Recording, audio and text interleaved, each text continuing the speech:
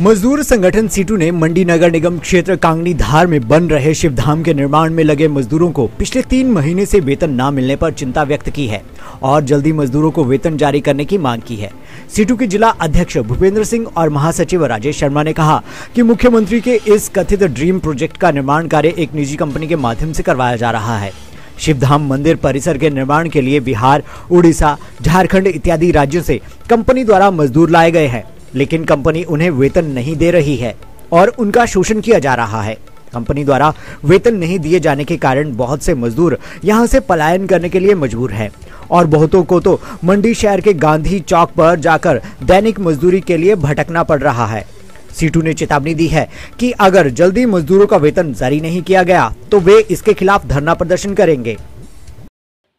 नमस्कार जी, मैं भूपेंद्र सिंह हूँ और मजदूर संगठन सीटू का मंडी जिला का अध्यक्ष हूँ। हमारे संगठन ने जो आ, मंडी शहर के जो कांगड़ी धार के अंदर जो आ, एक शिवधाम परिसर का निर्माण हो रहा है जिसे मुख्यमंत्री की एक तरह से ड्रीम प्रोजेक्ट के रूप में भी प्रचारित किया जाता है। उसके अंदर जो मजदूर एक कंपनी के माध्यम से लगाए गए हैं उनको पिछले लंबे समय से उनकी जो मजदूरी है वेतन ना मिलने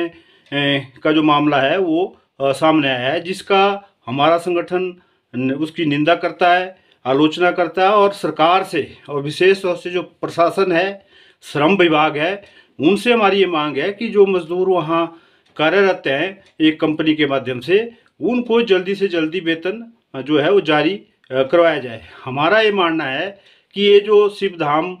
परिसर का जो निर्माण है, वो एक निजी कंपनी के माध्यम से किया जा रहा है और ये निजी कंपनी कथित तौर पे जो हमारे देश के जो गृह मंत्री हैं, उनके जो बेटे हैं अमित जैसा, उनकी बताई जाती है। और पिछले एक साल में जब से इस शिव धाम का जो निर्माण कार्य शुरू हुआ है, इसमें ऐसे जो मजदूर हैं, उनको बदल बदल के दो तीन महीनों के बाद बदल दिया जाता है और जो पुराने मजदूर हैं, उनको वेतन नहीं दिया जाता है। और अब भी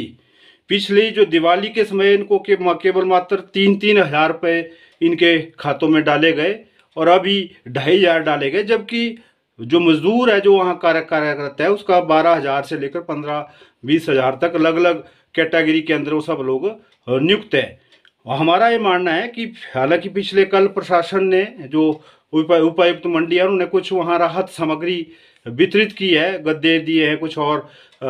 जो गैस सिलेंडर है वो दिए हैं। मगर हमारा मानना है कि प्रशासन को जो कंपनी है, उस पर नकेल कसनी चाहिए, ना कि वो रेड क्रॉस का जो पैसा है, उसको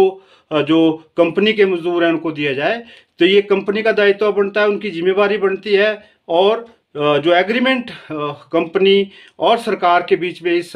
शिव धाम के निर्माण के लिए हुआ है, उसके तहत ये कंपनी का दायित्व बनता है कि मजदूरों को समय पे वेतन दिया जाए, हर महीने की सात तारीख से पहले, और उनके ठहरने की व्यवस्था हो। अब सर्दियों का मौसम है, उसमें जो गर्म कपड़े होते हैं, रजाई है, कंबल है, दूसरी व्यवस्था है हीटिंग व्यवस्था है, उसकी व्यवस्था की जानी चाहिए। हमारा ये मानना है कि ये जानबूझ के जो राज्य सरकार, जो भारतीय जनता पार्टी की पिछले दौर में थी और उसी के चलते ये सारा लिपापोती जो है कंपनी को फ़ायदा देने के लिए